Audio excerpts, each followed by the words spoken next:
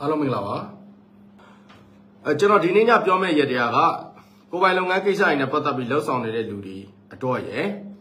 အဲပြီးသွားရင်ကျန်းမာရေးအားနည်းနေတဲ့လူတွေအတွက်ရယ်အဲပြီးသွားလို့ရှိရင်ကျွန်တော်တို့ငွေကြီးကိစ္စတွေနဲ့ပတ်သက်ပြီးတော့အားနည်းနေတဲ့လူတွေအတွက်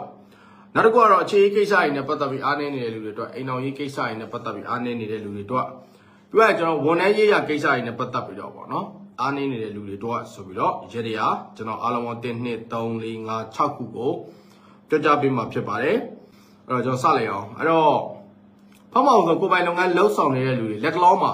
လုပ်ငန်းကိစ္စတွေနဲ့ပတ်သက်ပြီးတော့အဆင်မပြေဖြစ်နေတယ်ဆိုရင်တာနာအလံမှာကိုယ့်ရဲ့လုပ်ငန်းနာမည်ရေးပါပြီးရင်တာနာပွဲထိုးပါအလံကိုတာနာပွဲမှာစိုက်ပါကိုယ့်အိမ်ဖျားမှာပဲလှူပါเนาะအဲ့တော့တာနာပွဲထိုးတယ်ဆိုတော့ဗျာကိုယ့်ကကိုအုံဒီအဲတလုံးမပြောဒီ3ဖီးနဲ့ထိုးမယ်ဆိုထိုးလို့ရပါတယ်เนาะ အဲ့တော့တာနာအလံမှာကိုအခုလုပ်နေတဲ့ကိုပိုင်လုပ်ငန်းနဲ့ပတ်သက်ပြီးကိုလှုပ်ဆောင်နေတဲ့ကိုယ့်ရဲ့လုပ်ငန်းမှာနာမည်ရှိတာပေါ့နော်။ဥပမာလုပ်ငန်းနာမည်မရှိဘူးဆိုရင်တော့ကိုယ့်နာမည်ရေးချင်တယ်ရေးပေါ့နော်။အဲ့တော့လုပ်ငန်းနာမည်ရှိမယ်။လုပ်ငန်းနာမည်ကိုတာနာအလံမှာရေးမယ်။တာနာအလံရေးတဲ့အခါမှာဒီဘက်ကတာနာအလံဒီဘက်ကအဖြူပြောင်မှာရေးပေါ့နော်။ဟိုအရှိမတော့မရေးနဲ့ပေါ့နော်။တာနာအလံမှာကိုယ့်ရဲ့လုပ်ငန်းနာမည်ရေးမယ်။ပြီးသွားရင်ကျွန်တော်တို့ပွဲထိုးမယ်။တာနာပွဲထိုးမှာပေါ့နော်။တာနာပွဲထိုးပြီးတော့ဘုရားလူပါ။အဲ့ဒီကို ရေးထားတဲ့ကိုယ့်ရဲ့နာမည်ရေးထားတဲ့တာနာအလံကိုလည်းအဲ့ပွဲမှာစိုက်စိုက်ပေးပါပေါ့နော်ဒါဆိုလို့ရှိရင်ကိုယ့်ရဲ့အလုပ်ကိုင်နေအဲအဆင်ပြေမှုတွေပြန်လည်ပြီးတော့ရရှိလာနိုင်ပါတယ်ဒါကတော့ကိုယ်ပိုင်စီးပွားရေးကိစ္စလုပ်နေတဲ့လူတွေလက်တလုံးမှာအခက်အခဲကြုံတွေ့ပြုလုပ်ရမယ်ရတရားဖြစ်ပါတယ်နောက်တစ်ခါကျတော့ကျမ်းမာရေးအားနည်းတဲ့လူတွေရှိပါတယ်ဒီရက်ပိုင်းမှာနော်အဲ့တော့ကျမ်းမာရေးနဲ့ပတ်သက်ပြီးတော့ရတရားပြုလုပ်ခြင်းနေဆိုဒီရက်ပိုင်းမှာဘယ်နေ့သားသမီးမဆိုပေါ့နော်ကိုယ့်ရဲ့မွေးနေ့မှာဖုံကြောင်တန်ရှင်းရေးလောက်တာမျိုးတွေဇေဒီပထိုး တန်ရှင်းရေးလောက်တာမျိုးတွေပြုလုပ်ရမှာဖြစ်ပါတယ်နော်အဲတကယ်လို့ဟိုနေထိုင်မကောင်းဖြစ်တယ်ပြောဗျာအဲ့ရထဲမှာလဲနေတယ်ဆိုရင်တော့သူနဲ့တွေးတော်ဆက်တဲ့ဟိုမှာအမေတော်၎င်းညီကောင်မောင်နှမတော်၎င်းအဖေတော်၎င်းတာသမီတော်၎င်းပေါ့နော်သူ့ကိုယ်စားပြုလုပ်မယ်ဆိုရင်လည်းပြုလုပ်လို့ရပါတယ်ပြုလုပ်ရမယ့်နေ့ကတော့သူ့နေ့မှာပဲပြုပြုလုပ်ပေါ့နော်အဲ့တော့ကိုကိုယ်တိုင်ကတန်ရှင်းလုံနိုင်တယ်ဆိုရင်တော့ခဏပြောလို့ဖုံးကြောင်တပြက်စီးလဲတာမျိုးတွေတန်ရှင်းလောက်တာမျိုးတွေအိမ်သာဆေးကြောတာမျိုးတွေပြုလုပ်မယ်ဆိုရင်ပြုလုပ်လို့ရတယ် အဖုံးကြောင်မသွားခြင်းဘူးဆိုလို့ရှိရင်လည်းနီးစက်ရကိုယ့်ရဲ့ဈေးဒီအဲဟိုပါဘောနော်ဖျားစီတွေတစ်ခုခုသွားပြီးတော့တပြက်စီလဲဒါမျိုးเนาะအဲဒီဖျားမှာရှိနေတဲ့ပန်းနေ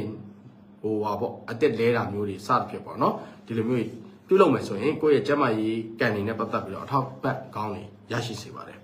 နောက်တစ်ခုကတော့ကျွန်တော်တို့ငွေကြေးကိစ္စတွေနဲ့ပတ်သက်ပြီးအဆင်မပြေဖြစ်နေတဲ့ကျွန်တော်မိတ်ဆွေတွေဒီရက်ပိုင်းတွေမှာရှိပါမယ်เนาะ တကယ်လို့ငွေကြေးကိစ္စတွေနဲ့ပတ်သက်ပြီးအဆင်မပြေဖြစ်နေတယ်ဆိုရင်ခရီး6ညုံကိုကျွန်တော်ဖန်ခွက်တဲ့ထည့်မယ်ရေးထည့်မယ်ပြီးရင်ကျွန်တော်ဘုရားကိုလှူမယ်ပြုလုပ်ရမယ့်နေ့ကတော့ကိုယ်အစဉ်ပြေတဲ့နေ့ပြုပြုလုပ်ပါနော်အဓိကခရီး6ညုံခရီးအရွက်ပေါ့ဗျာအဓိကခရီးအရွက်အခက်ခရီးခက်6ခက်ပြောတာပေါ့နော်အခက်တော့မသုံးမနဲ့အညွန့်လို့သုံးလိုက်တာပေါ့နော်အဲ့တော့နားလေတယ်အောင်ပြောမယ်ဆိုရင်တော့ခရီးဂိုင်းလေးတွေပေါ့နော်6 6ဂိုင်းပေါ့နော် အဲ့တော့အလောတော်လေးညှက်ပြီးတော့ကို့မှာရှိနေတဲ့ဖန်ခွက်လေးနဲ့တိုင်းပြီးတော့ညှက်လိုက်ပေါ့နော်ညှက်ပြီးတော့ဖန်ခွက်တဲ့ထက်ထည့်ပြီးရေလောင်းပြီးတော့မြတ်စွာဘုရားကိုလူတန်းပေးပါလို့เนาะအဲ့ဒါငွေကြေးခက်ခဲနေတဲ့ကျွန်တော်မိတ်ဆွေတွေလွယ်လွယ်ကူကူနဲ့ပြုလုပ်ရမယ်ရတရားလေးတစ်ခုဖြစ်ပါတယ်ပေါ့နော်နောက်တစ်ခုကတော့ကျွန်တော်တို့ဒီအခြေအကိစ္စတွေနဲ့ပတ်သက်ပြီးတော့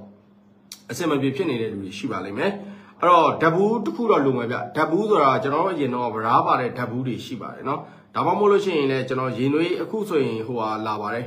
ရေနွေးထည့်ရင်ရေအများနဲ့နွေးနေတဲ့ဓဘူးအသေးလေးတွေလာရယ်နော်အဲ့ဓဘူးအသေးလေးထဲကိုကိုယ့်ရဲ့ချစ်သူရဲ့နေနံပန်းပေါ့နော်ဟိုမှာတနင်္ဂနွေဆိုရင်အုံးပေါ့နော်ဒါမှမဟုတ်တနင်္လာဆိုရင်လည်းဂန်းကောတို့ခရီတို့ရမယ်ပေါ့နော်ဘုဘော်ဒဟူးဆိုရင်လည်းရွက်လာတို့စသဖြင့်ပေါ့နော်ကိုယ့်ရဲ့ချစ်သူကဘာနေသားသမီးလဲပေါ့အဲ့သူ့ရဲ့နေနဲ့တက်ဆိုင်တဲ့နေနံပန်းပေါ့နော်ခရီမရှိလို့တော့မရဘူးလေခရီတော့ရှိမှာပါနော်ခရီမရှိဂန်းကောပေါ့ဒါပဲရှိရမယ်နော်အဲ့တော့ အမှန်တကယ်ကတော့ခရီပိုလုံးစေခြင်းတယ်နော်ငွေကြေးကားတဲ့ဘာအကင်လဲစီရတယ်ဘယ်လိုဘယ်လိုကျွန်တော်နားနားမလဲခရီခရီခရီငွေကြေးရခရီနော်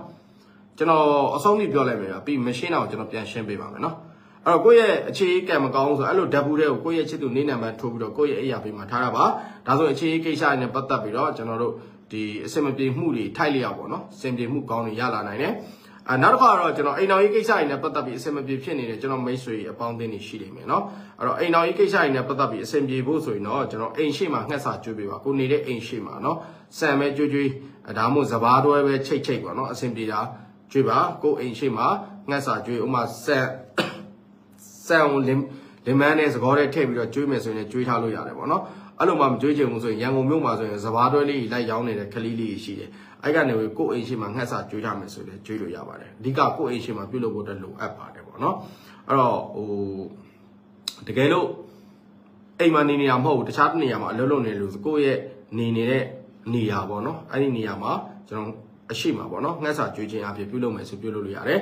နောက်တစ်ခုကတော့ကျွန်တော်တို့ဒီ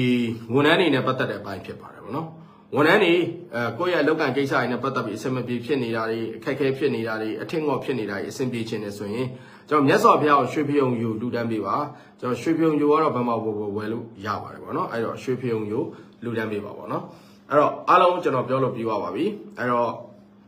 ကိုယ်ပိုင်လုပ်ငန်းကိစ္စတွေနဲ့ပတ်သက်ပြီးတော့လည်းပါတယ်ငွေကြေးကိစ္စတွေနဲ့ပတ်သက်ပြီးတော့လည်းပါတယ်ကျန်းမာရေးကိစ္စတွေနဲ့ပတ်သက်ပြီးတော့လည်းပါတယ်